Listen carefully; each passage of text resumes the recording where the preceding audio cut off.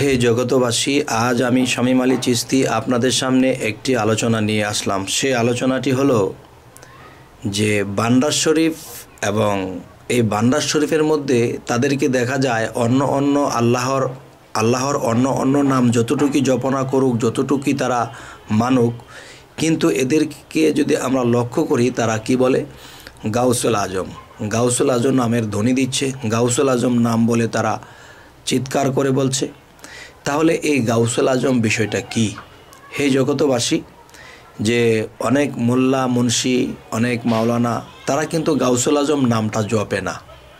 তাহলে গাউসুল আজম নামটা আসলে কি? বান্ডার শরীফ কি বুঝে জপে? এবং তার মুর্শিদ ভক্তদেরকে এই গাউসুল আজম নামটি দেয় যে, তোমরা এই নামের জিকির করো, এই নামের ধ্বনি দাও, এই নাম স্মরণ করো। তো হে জগতবাসী আজকের আলোচনাটি একটু ব্যতিক্রম হতে চলেছে যে অবশ্যই আমি এই নামের উদ্ঘাটন করব, এই নামের ফাইসলাটা করব ইনশাল্লাহ যে অনেকেই আছেন যে এই নামটি শুনলে তাদের ভিতরে খিতখিত করে। আচ্ছা একটা বাচ্চাকে যদি আমি হীরার টুকরা দেই, সে কিন্তু দেখা গেছে তারা যে বিরিং খেলে বা গুল্লি খেলে, এখন দেখা যায় যে সে বাচ্চাটি কি করবে? এই বিরিংয়ের মতো খেলতে খেলতে খেলতে খেলতে হারিয়ে ফেলবে। তো দেখা যায় এদেরকে বিরিংটাই দিতে হয়। পাঁচ টাকা দিয়ে কিনে এদেরকে বলটা দিলে তারা খেলবে, তারা আনন্দ পাবে। কিন্তু গাউসুল আজম যে বিষয়টা, যে তারা এটা খেলনা মনে করে যে গাউসুল আজম বিষয়টা কি? তো আসলে আজকের মূল বিষয়টা আমি বলব যে নবুয়াতির যোগে জিকির করত আল্লাহু আল্লাহু। তাহলে এখনও পর্যন্ত সেই জিকির করা হয় বিভিন্ন তরিকতে। আল্লাহ আল্লাহ জিকির করে কেউ? কেউ বলতেছে আল্লাহু। তো কেউ আল্লাহ আল্লাহ জিকির করে তাদেরকে বললাম যে, বাবা, যে আপনি যে আল্লাহ আল্লাহ জিকির করেন, এই আল্লাহ শব্দের অর্থ কী? কয়, আল্লাহ তো আল্লাহই। ও আচ্ছা ঠিক আছে। তাহলে আল্লাহ কিন্তু প্রত্যেকটা জিনিসের নাম দেওয়া হয়েছে, কিন্তু প্রত্যেকটা জিনিসের কামও দেওয়া হয়েছে। আলাদা আলাদা নাম, আলাদা আলাদা কাম। যেমন ইয়ারাজ্জাক ইয়ারাজ্জাক নামের গুণবাচক, এটার নামের অর্থ কী আসে? রিজিক দাতা এই নামে আল্লাহ রিজিক দিয়ে থাকে। ইয়া রহমানু, আল্লাহ এই নামে রহমত দান করিয়া থাকে। তাহলে, আর আরবি ভাষাতে আরেকটি কথা আছে। সেই কথাটি হলো যে খামসা খামসি দিনার। তার মানে আমরা যদি পাঁচ পঞ্চাশ টাকা বলে থাকি, তাহলে খামসুয়া খামসি দিনার এটা হলো আরবি ভাষা। তাহলে প্রত্যেকটা ভাষার বাংলা আছে, প্রত্যেকটা বাংলা ভাষার আরবি আছে, প্রত্যেকটা বাংলা ভাষার ইংরেজি আছে। আচ্ছা তাহলে আজকের যে কথাটি বলতে চাবো যে গাউসুল আজম নামটি যদি কেউ শোনে, সে খিতখিত করে ওঠে। সে মৌলবী, মুন্সি অজু করছে, নামাজ পড়ছে জামাজ ছাড়া নামাজ পড়ে না বা নামাজে সবসময় উদাসীন থাকে। কিন্তু তাদেরকে যদি ভালো কিছু প্রশ্ন করা হয়, তারা এড়িয়ে যায়, না বাবা, অত কিছু জানা দরকার নেই। অত কিছু বোঝা দরকার নেই। নামাজ পড়ো রোজা করব। তাহলে এটা হলো মূর্খ লোকের কথা। আমি যদি নামাজ পড়ি নামাজটা আমাকে বুঝে নিতে হবে। যদি অজু করি তো অজুটাও বুঝে করতে হবে, অজু কয় প্রকার? একটা আত্মার অজু, একটা দেহের অজু। নামাজ, একটা মারেফতের দেশের নামাজ, একটা শরীয়তের নামাজ। এখন যদি বলা হয় যে অত কিছু বুঝি না বাবা, তাহলে এই লোকগুলো আসলে বোঝে এগুলো গোমন্ত শয়তান। গোমন্ত শয়তান কীরকম? যে ঘুমিয়ে ঘুমিয়ে জেগে থাকে। এমন কিছু লোক আছে, বুঝতে চায় না। আর যদি বুঝতে চায় তো অবশ্যই সে একদিন আউলিয়া হইতো। কিন্তু সে এড়িয়ে চলে। যাই হোক, আজকের যে বিষয়টি আমি বলতে চাই, সেটি হলো বান্ডার শরীফ কেন গাউসুল আজম নাম জপে? এই গাউসুল আজম নামটা এমন কি? এই গাউসুল আজম নামটা তো আল্লাহর নিরানব্বই নামের মধ্যেও নাই।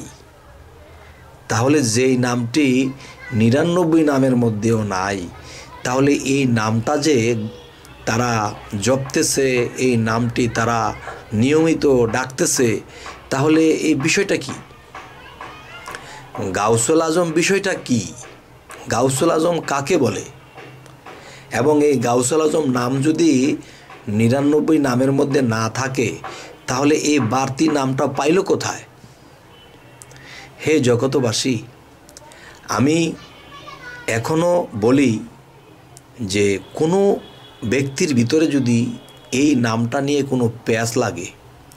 এই নামটা নিয়ে যদি কারও ভিতরে দ্বিধাদ্বন্দ্ব লাগে, একেবারে আল্লাহর কসম দিয়ে বলছি, আল্লাহর দোহাই দিয়ে বলছি, এই নামটি যারা জপনা করে এবং এই নামের শিক্ষা তারা যেখান থেকে পেয়েছে সেখানে যাবেন। গিয়ে জিজ্ঞাসা করবেন, বাবারে, গাউসুল আজম নামটা তো, গাউসুল আজম নামটা তো সেই এই নিরানব্বই নামের মধ্যে নেই। তাহলে এই গাউসুল আজম নামটা আপনারা কোথায় পেলেন? এটা কোত্থেকে পেলেন? আর এটা জপলে কি হয়? এই নামের শব্দের অর্থ কী?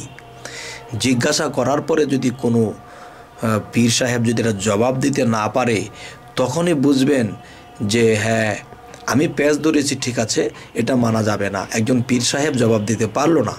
আর যদি জবাব দিয়ে দিতে পারে, তাহলে আপনার শিখা হলো। হে জগতবাসী আরও একটি কথা এর মধ্যে লুকিয়ে আছে তা বলা দরকার। সেটি হলো যে বড় পীর আব্দুল কাদের জিলানি রহমতুল্লাহ আলাই, তিনি কত বড় শক্তি নিয়ে পৃথিবীতে এসেছে। আল্লাহ তাকে কত বড় শক্তি দান করেছেন। যেমন মায়ের গর্ভ থেকে তিনি তার মাকে রক্ষা করেছে।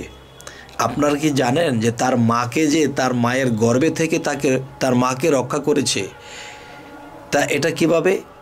সেটা হলো যে সেই শক্তিটা হলো গাউসুল আজম নামের গুণে গাউসুল আজম নামের শক্তিতে। গাউসুল আজম নামের প্রচার দিয়ে গেলেন। এবং এই গাউসুল আজম শব্দের অর্থ কি? এই গাউসুল আজম নামের শব্দের অর্থ হলো মহা সাহায্যকারী কিংবা শ্রেষ্ঠ সাহায্যকারী। হে জগতবাসী মহা সাহায্যকারী কে? মহা শ্রেষ্ঠ শ্রেষ্ঠ সাহায্যকারী কে? তিনি আল্লাহ। তবে আল্লাহ কি বলেছে? নবুয়াতির যুগে আমাকে আল্লাহ নাম বলে মানুষের জানতো এখনও জানে এখনও জিকির করে তখনও করত। কিন্তু আল্লাহ বলেছে, আমি গাউসুল আজম নামে আমি ভক্তের উদ্ধার করিয়ে থাকি। গাউসুল আজম নামে আমি বান্দাদেরকে উদ্ধার করে থাকি।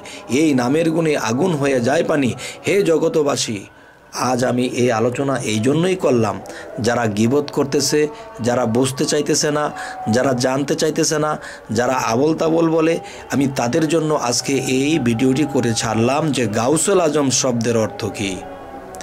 যে গাউসুল আজম শব্দের অর্থ যদি কেউ বোঝে, তাহলে সে কখনোই আর এরকম বলবে না। এই গাউসুল আজম নামের গুণে আল্লাহ অনেক কিছু করে থাকে। এই গাউসুল আজম নামের গুণে আল্লাহ মানুষকে তরাইয়ে নেবে।